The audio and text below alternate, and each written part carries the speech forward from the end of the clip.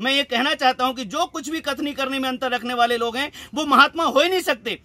अरे कहाँ है इतनी गाय? उनके पास जितना वो देश में घी सप्लाई कर रहे हैं। अगर उनमें औकात है तो बताओ मुझे गिनती करवाओ कि भारतीय गाय का देशभक्ति के नाम पर, राष्ट्रीयता के नाम पर इतना जो क्या बेवकूफ़ है ये पूरा देश? बेवकूफ़ तो है ही है, क्योंकि जब इतने स्तर पे लोगों को बनाया जा रहा है, बुद्धू बनाया जा रहा है ठीक है बनाओ भाई। लेकिन इसको तुम्हें दंड देगा जो भी इस देश के साथ इस तरह से षड्यंत्र कर रहे हैं और इस तरह से खुरापात कर रहे हैं। दंड मिलेगा।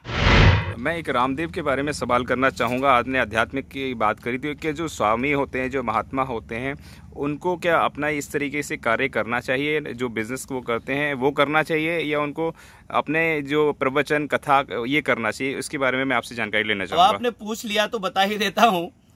जब प्रथम आवाहन हुआ राजीव दीक्षित हमारे स्कूल में हमारा वहाँ पे बुंदेलखंड में एक स्कूल है, जिसको हम लोग, हमारे एक बड़े भ्राता हैं रमाशंकर मनीषी, उन्होंने आचार्य चाणक्य और स्वामी विवेकानंद को एक अच्छे भद्र पुरुष के रूप में देखा और वहाँ एक तक्षशिला सीनियर सेकेंडरी स्कूल खोला। लेकिन वो गुरुकुल के पैटर्न पे स्वामी, हमारे रमाशंकर जी आज, उनतीस वर्ष से लगातार जो हमारा औसत भारतीय जीवन है, उस तरह से जीते हैं, फलाहार करते हैं, और फलाहार भी कौन सा? जो उगा के खाते हैं, अपने घर की गाय का दूध पीते हैं। उनने राजीव दीक्षित को बुलाया।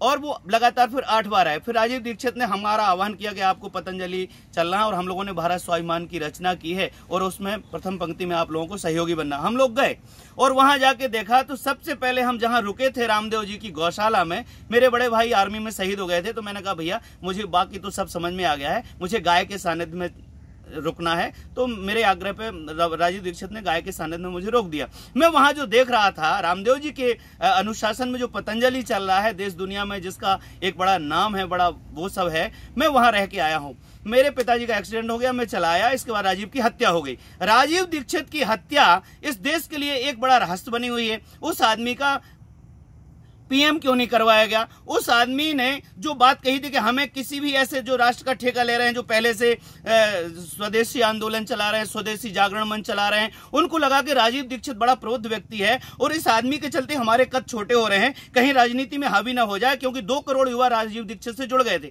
इस डर से इस देश के ठेकेदारों ने राजीव दीक्षित की मिल मिला के रामदेव जी के साथ कहाँ कहाँ से क्या क्या कौन कौन पापी सम्मिलित हैं ईश्वर उन्हें दंड देगा। मैं तो निडर आदमी हूँ। मैं ये कहना चाहता हूँ कि जो कुछ भी कथनी करने में अंतर रखने वाले लोग हैं, वो महात्मा हो ही नहीं सकते। अरे कहाँ है इतनी गाय? उनके पास जितना वो देश में घी सप्लाई कर रहे हैं।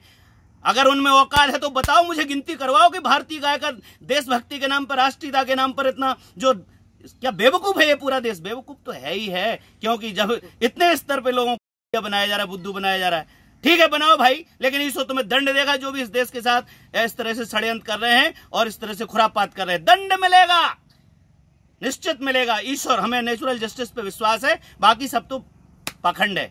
कथनी करनी, भिन्न जहाँ है, धर्म नहीं, पाखंड वहा है। मनस्य कम बचस्य कम कर्मण्य कम महात्मा नाम मनस्य अन्य बचस्य अन्य कर्मण्य अन्य दुरात्मा नाम आप चाहे पेंट पहनो या पैजामा, नंगे रहो या कपड़ों में, यदि आपकी कथनी करनी में एकता है तो आप मेरे लिए महात्मा हो और दुनिया की किसी भी धरती के कोने में रहने वाला व्यक्ति महात्मा है।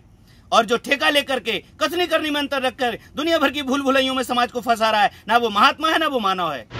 आपने अभी तक हमारा चैनल सब्सक्राइब नहीं किया है तो सब्सक्राइब करें और घंटी का बटन बिल्कुल भी दबाना ना भूलें, ताकि सभी लेटेस्ट खबरें पहुँच सकें आप पे सबसे पहले।